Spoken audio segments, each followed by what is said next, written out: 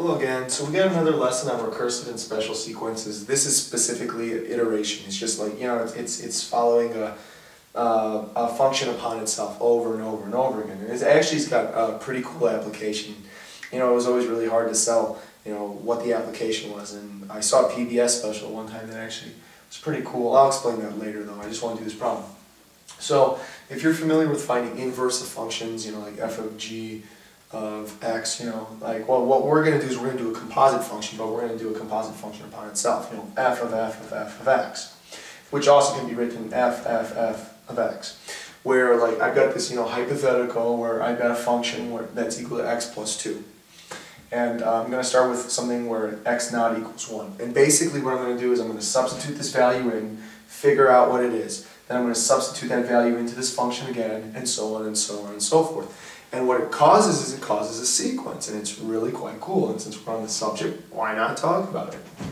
So uh, I've got to do this three times because there's three f's. You know, it's like do it once, do it twice, do it three times. So the first one we're going to do is f of x naught, or f of 1.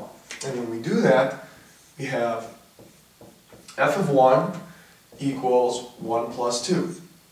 So that's equal to 3. We did that once. We you know, did this once. Yeah. We just got to do this two more times. So let's do this two more times. Now what we do is, well, our new point isn't 1, it's 3. So we're going to put in f of 3, but it's into the same function, x plus 2. Well, x this time is not 1, it's 3. Plus 2 equals 5. And we're going to do it another time. We have to do it once, twice, three times. If there were eight f's, you'd have to do it eight times. So when we do it our third time, it's not f of 1, it's not f of 3, it's not f of 5. Oh, it's f of 5, pardon me. And that's equal to 5 plus 2 equals 7. So our sequence, if we write it out, is 1, that's our first point, then 3, then 5,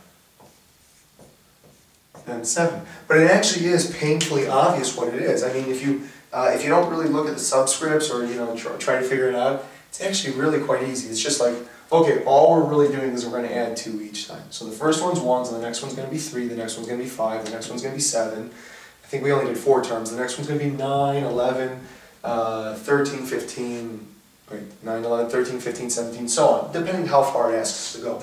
But that's an example of um, a sequence, and oh, wow, it's a recursive formula within the, well, it's iteration within the subset of uh, recursive formula, pardon me. And actually it's quite cool. I never thought I could really explain this besides just saying, you know, like, oh, this is what we're doing, just kind of buy into it. But I saw a PBS special one time, which I thought was really cool on fractals and fractal math.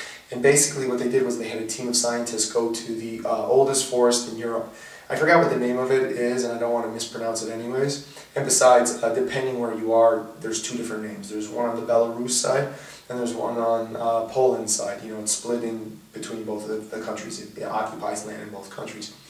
And this team of scientists went up and they, they, they noticed that uh, patterns in nature tend to be fractal. And what I mean by that is, like if you take a tree, and then you like magnify on a smaller aspect of the tree, uh, it's still got a good definition, even even though you think that it wouldn't. Like uh, like a small little twig, you expand it, kind of looks like a branch, expand it, and it looks like a bigger and bigger area of the forest. Like um, I guess the best way to explain it besides that PBS special is like with a snowflake. You look at a snowflake, and you think that it's uh, you know very defined, and then you think if you go closer, it's not going to be composed of anything really.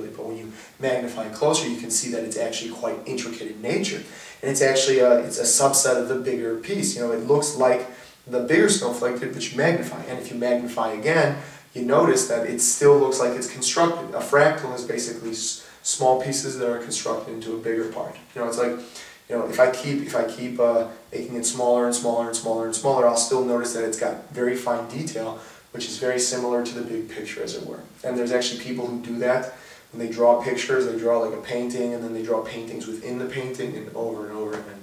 That's like an example fractal math, uh, which falls under recursive and special sequences in its own right. And you can make an argument for that.